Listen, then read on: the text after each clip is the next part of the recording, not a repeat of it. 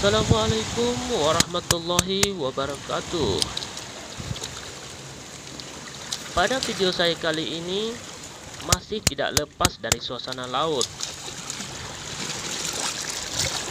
Di tengah deburan ombak kecil saat air laut surut Saya menyempatkan diri untuk mengambil kerang teritip. Kerang teritip ini biasa menempel pada batu-batu karang dan akan terlihat di saat air laut surut.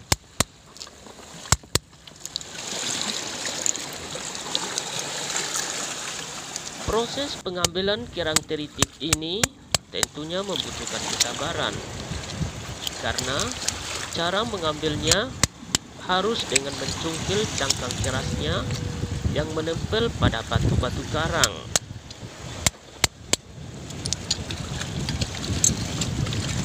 Ini bisa kita gunakan peralatan seperti besi yang diruncingkan atau obeng atau bisa juga peralatan lain yang dapat kita gunakan. Atau bisa saja langsung mengisinya dengan batu ataupun menggunakan palu.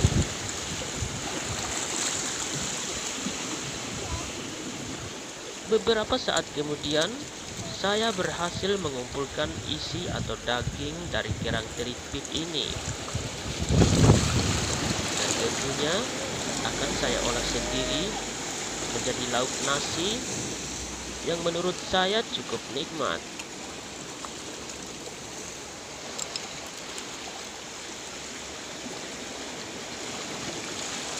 Oh ya guys, menurut sebagian orang Daging dari kerang teripit ini bisa dikonsumsi mentah-mentah. Maka tak ayal lagi, aku pun langsung saja mencobanya. Dan tenang saja, sangat terasa di lidahku saat itu. Terasa gurih, manis, akan tetapi sedikit bau amis.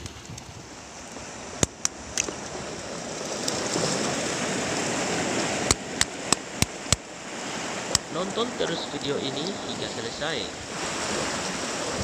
Dan jangan lupa like dan subscribe. Dan bunyikan juga tombol loncengnya agar kalian tak ketinggalan video-video kami selanjutnya.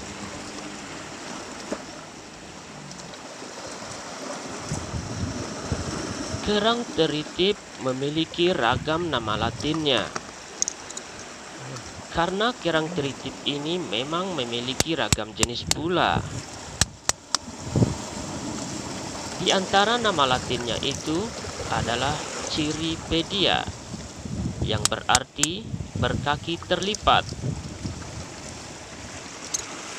Teritip adalah antropoda anggota infrakelas Ciripedia subfilum Crustacea sehingga berkerabat dengan kepiting dan udang. Oh ya guys, kalian semua jangan terlena dengan pembahasan ilmiah seputar kerang teritip ini. Karena di sini bukan ruang belajar kuliah Fakultas Biologi, melainkan pembahasan proses pengambilan kerang teritip dan olahan kuliner dari daging kerang teritip ini.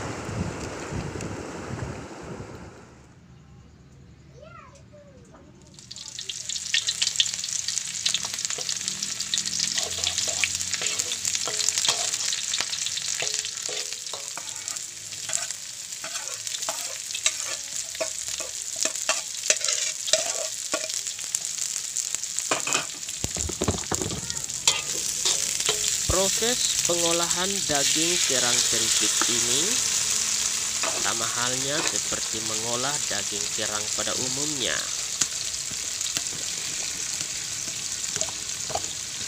Dan kali ini saya mengolahnya menjadi kerang asam manis. Tentunya kalian semua tahu bukan?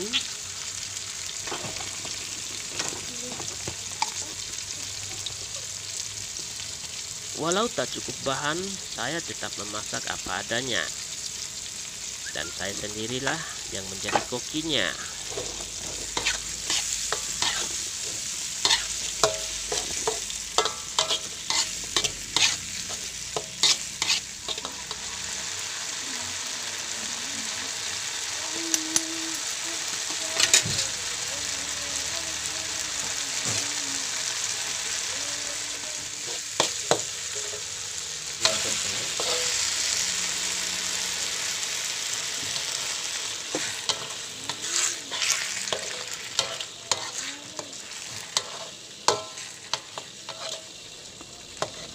Beberapa saat lamanya, kerang asam manis hasil olahanku selesai.